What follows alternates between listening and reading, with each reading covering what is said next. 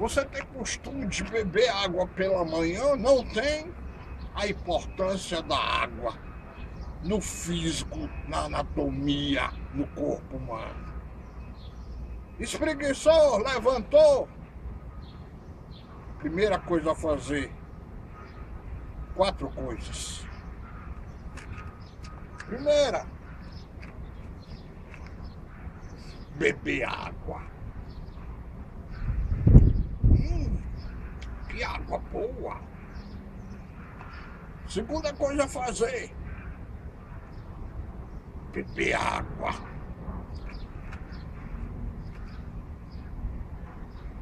Terceira coisa a fazer,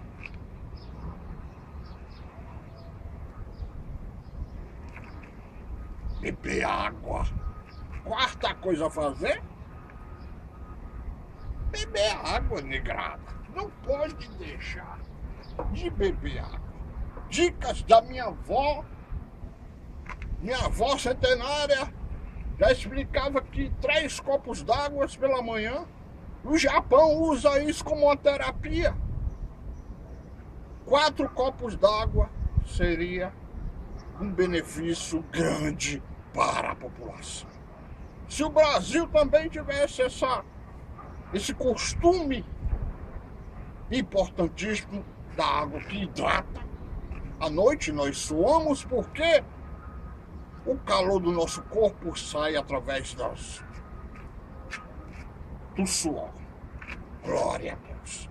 Então nós transpiramos à noite, perdemos líquido, emagrecemos. Então, amanhecer, pegue água para você